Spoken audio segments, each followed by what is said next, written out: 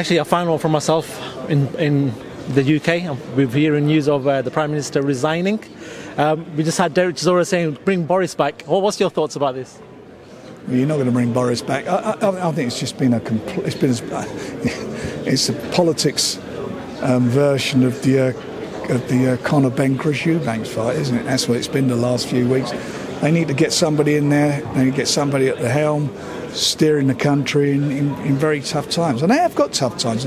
You know, government government's made a few have made a lot of mistakes, and, and Liz Truss has basically got it wrong. Having said that these are tough times for everybody. I mean, every country's got a problem because of the war in the Ukraine and what Putin's done, and also we're coming off of the uh, the situation with um, COVID. But get Penny Mordaunt in there. Frank Warren, always a pleasure talking to yourself.